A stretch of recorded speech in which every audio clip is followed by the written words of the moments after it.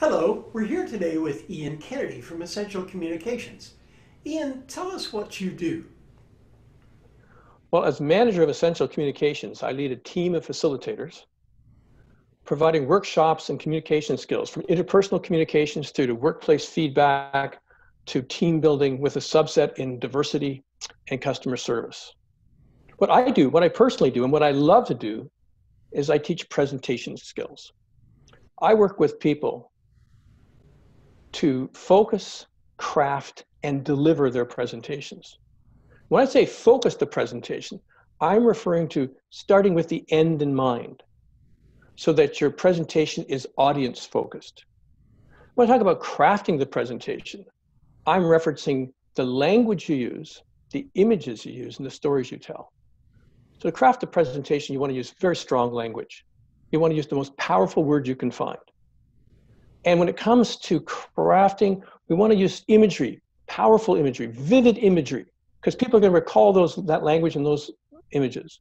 But people are going to recall more than anything the stories that you tell, stories that are related to, stories that are related to the topic you're talking about. It's often people will even a fine, excellent presentation. Sometimes people 24 hours later can't even remember what you were talking about. Yeah. They barely remember being at the presentation because it's not because of your presentation, it's because their lives are so busy. They have so many things going on that a day later, oh yeah, I went to something yesterday, I don't recall. But what we know about stories is they may recall that story three days later, five days later, 10 days later. And in recalling the story, it takes them back to the content. It hooks, it, the story is the hook. It takes them back into the content. Now they remember your presentation. So stories are very important. Stories are incredibly important hooks within a presentation to create memorability. When we spoke oh, a couple of weeks ago, we were talking about a story about the $5 more pricing strategy. We yes. always charge $5 more than whatever our customer, our client, our competitors are. And it's Great a story. story that, that has a hook to it that people can remember instead of a PowerPoint with a whole bunch of numbers and slides. That's right. So crafting. We want those stories, yeah. Crafting the story that's memorable. Yeah. So who are your ideal clients? Individuals and organizations. And in that, organizations are made up of individuals. Let me rephrase that individuals and individuals within organizations. Right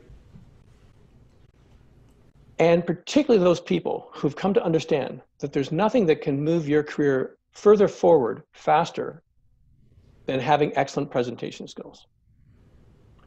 There are people, sometimes experts, subject experts, who are overlooked for promotion or prestige positions because they lack quality presentation skills. They become their own best kept secret because they avoid making presentations. When they do make presentations, they're very flat and the flat presentation is not grabbing anybody's attention. So we're not looking at them as star players. They're just people on the team. Right. But if they had, I mean, if they're super smart experts, you think they would know this. So then why don't they present well? Well, I would suggest the real reason why most people don't present well is to do with their energy, their nerves, their anxiety. The nerves and the anxiety get in the way and they Yep.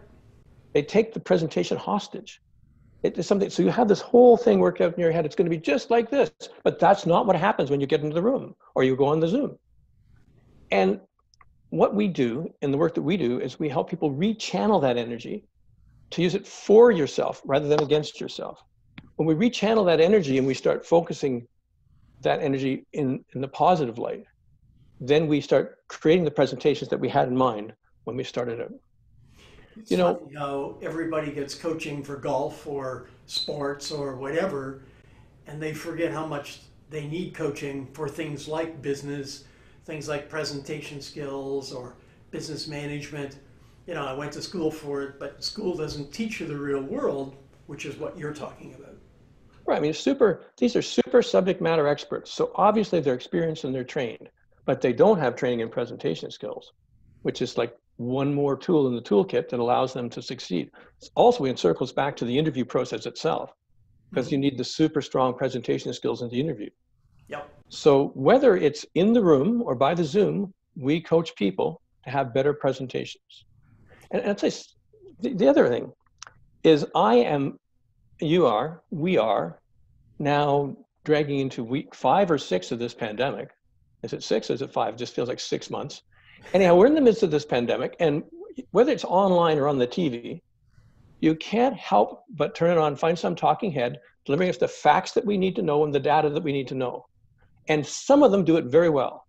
And some of them are subject experts, but they lull me to sleep within two sentences. So they, again, whether using a teleprompter or reading from a script, you can still learn to do this effectively and still engage with and connect with your audience. So, and what would be your tip then for people watching this about what they can do while they're in isolation or their number one tip for working in isolation to solve that problem? Well, when in this period of isolation, my tips for people in this time is to keep working. Mm-hmm. And I think my first reaction, I think many people's first reaction is we're working out, we're working full tilt, and it's we're just got things going on everywhere, and then suddenly it all stops. Yeah. So as it all stops, my tendency, but maybe others too, was to stop as well. Okay, good. Holiday, fabulous. Let's rest a while. So I did. I took some time. I didn't do much of anything. I thought, oh my goodness, look at all these things I haven't cleaned up around the house. And my mind went jelly.